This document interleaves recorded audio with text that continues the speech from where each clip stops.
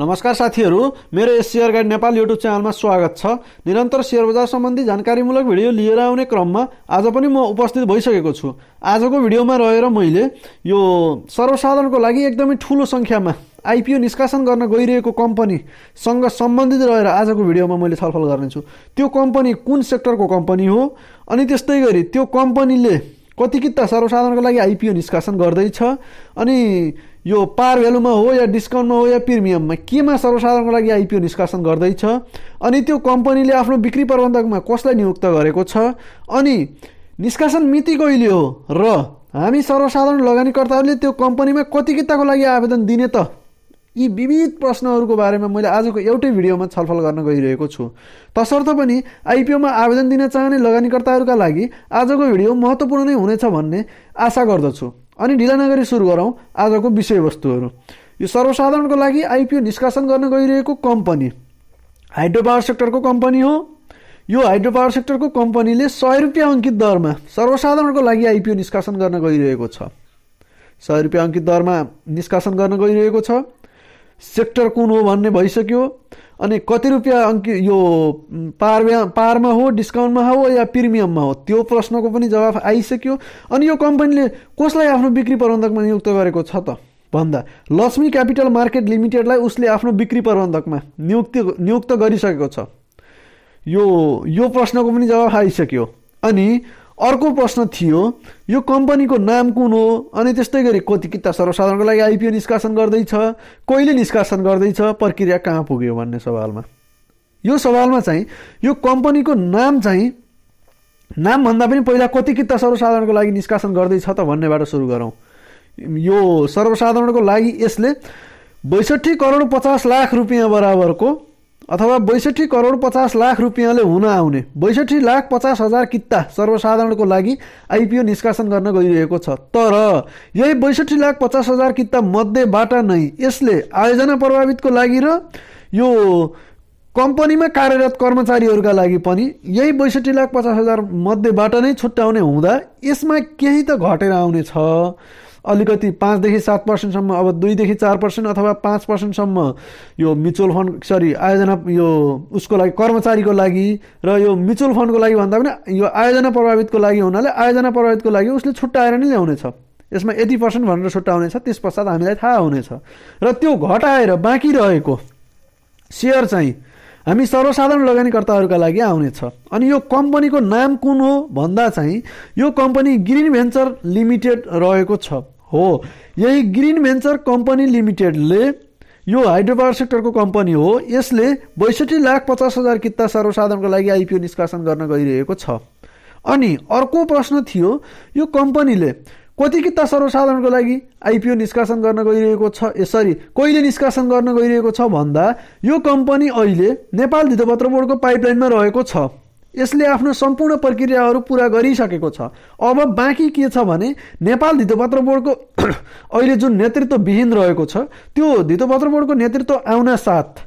यो कम्पनीले आइपिओ निष्कासनको अनुमति पाउनेछ र त्यसभन्दा अगाडि पनि यो जुन कार्यकारी निर्देशकको रूपमा निरज गिरी रहेका छन् उनले अब यो आफ्नो सम्पूर्ण प्रक्रिया पुरा गरेका कम्पनीहरूले आइपिओ निष्कासनको अनुमति पाउँछन् भनेर उनले भनेका थिए। त्यस पश्चात उनले भने पश्चात चाहिँ उनले यो आइपिओ निष्कासनको अनुमति दिएका त छैनन् तर राइट सेयरको राइट सेयर निष्कासनको अनुमति भने दिएका छन्। त्यसबाट पनि के थाहा यो धितोपत्र बोर्डको नेतृत्व नआउँदै यो आइपिओ निष्कासनको अनुमति पाउँछ कि भन्ने पनि हामीहरूलाई अलिकति आशा चाहिँ रहन सक्छ। यो अझै फिक्स्ड भइसकेको छैन। निष्कासन मिति कहिले हो भन्ने सवालमा चाहिँ यो अहिले नेपाल धितोपत्र बोर्डको सम्पूर्ण प्रक्रिया पुरा गरेर अन्तिम चरणमा रहेको छ। धितोपत्र बोर्डको नेतृत्व आए पश्चात त यसले छिटो नै आइपिओ निष्कासनको अनुमति पाउनेछ। यसको अलावा चाहिँ यो कार्यकारी निर्देशकले दियो भने चाहिँ अब त्यो कुरो बाहिर निस्किएको त छैन जानकारी बाहिर निस्किएको छैन। तर आउन चाहिँ आउने सम्भावना चाहिँ छ। यस अर्थमा सम्भावना छ कि राइट सेयरको अनुमति दिएको हुनाले यिनै निरज गिरीको नेतृत्वमा नै राइट सेयरको अनुमति तिनवटा कम्पनीलाई दिइसकेको हुनाले आइपिओको अनुमति पनि पाउँछन् कि कम्पनीले भन्ने सम्भावना चाहिँ रहन्छ तर पाइसकेको चाहिँ अवस्था छैन। अनि अर्को विषय भनेको आजको बजारसँग सम्बन्धित रहेको विषय छ। आजको बजारले छब्बिस सयको आँकडा पार गरिसकेको छ। खरिद यो खरिद बिक्री रकम पनि बढ्दै गइरहेको छ। प्राइस र भोल्युम दुईवटै बढ्दै गइरहेको छ। अनि सेयर बजारमा सुधार आउने क्रम सोमबार पनि जारी नै रह्यो। नेप्से सूचकसहित खरिद बिक्री रकममा पनि बढोत्तरी भएको नै छ। यस दिन सूचक छब्बिस सय बिन्दुमाथि गएर अडिएको छ। सूचक बत्तिस सय तिन अङ्कले सरी बत्तिस दशमलव जिरो तिन अङ्कले बढेर छब्बिस सय सोह्र दशमलव नौ चारको बिन्दुमा आइपुगेको छ। कारोबार रकममा पनि बढेर चार अर्ब त्रिपन्न करोडमाथि पुगेको छ। एक कम्पनीको भाउमा सकारात्मक सर्किट लागेको छ। पछिल्ला दिनहरूमा बजार औसतमा सकारात्मक गतिमा देखिएको छ। अब यो जुन यो स्थानीय निकायलाई दिने असी प्रतिशत रकम निक्षेपमा गणना गर्न पनि अब पाउने भएको व्यवस्था भोलिदेखि यो कार्यान्वयन हुनेछ। त्यसबाट पनि बजारको लागि यो एकदमै सकारात्मक पक्ष हुन जान्छ। यसबाट पनि बजार बढ्ने नै देखिन्छ।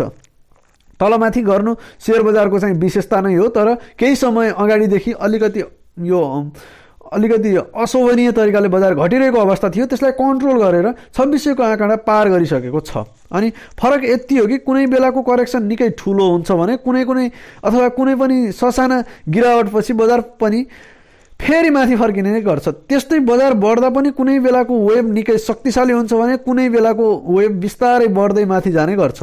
लगानीकर्ताले बजारको प्रवृत्ति बुल बियरिसको चरित्र अनि कुनै बुलिस पिरियड कायम रहने सामान्य अवधि बुलिस बजारले देखाउने प्रवृत्ति लगायतका विषयमा पनि चनाखोपूर्वक ख्याल गर्न विश्लेषकहरूको सुझाव आइरहेको हुन्छ र त्यो हामीले पालना पनि गर्नुपर्ने हुन्छ।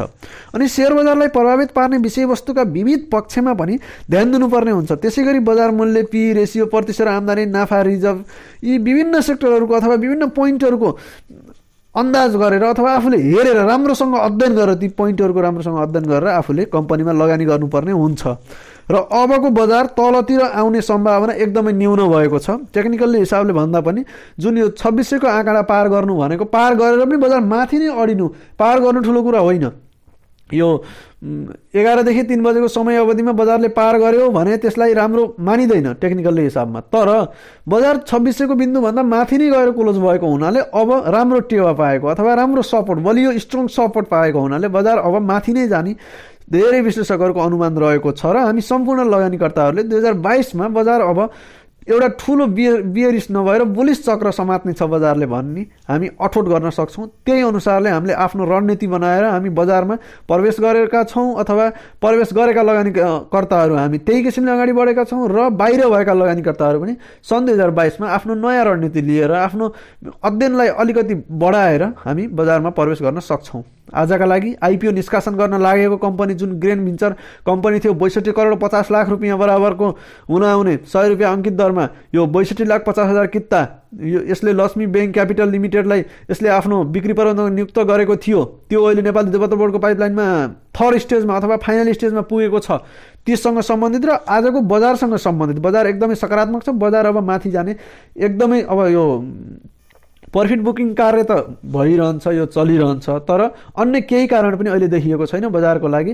राम्रो प्रभाव पार्ने नै सकारात्मक प्रभाव पार्ने नै न्युजहरू आइरहेको अवस्था छ। यो अवस्थामा बजार माथि जाने सम्भावना राम्रो देखिएको छ।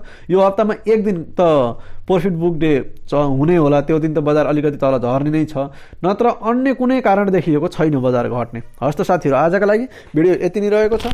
म निरन्तर रूपमा सेयर बजार सम्बन्धी जानकारीमूलक भिडियो लिएर र अबको केही समयपछि टेक्निकल एनालाइसिसको पनि पार्ट वान पार्ट टू गर्दै म भिडियो लिएर उपस्थित हुने नै छु। यो दर्शक महानुभावहरूले कस्तो किसिमको प्रतिक्रिया दिनुहुन्छ त्यसबाट पनि थाहा हुनेछ। टेक्निकल एनालाइसिसको भिडियो पनि म लिएर आउँदैछु। बेसिक टेक्निकल एनालाइसिस भनेर म सुरु गर्दैछु। ल साथीहरू आजका लागि भिडियो यति नै रहेको छ। फेरि भेटौँला। धन्यवाद साथी।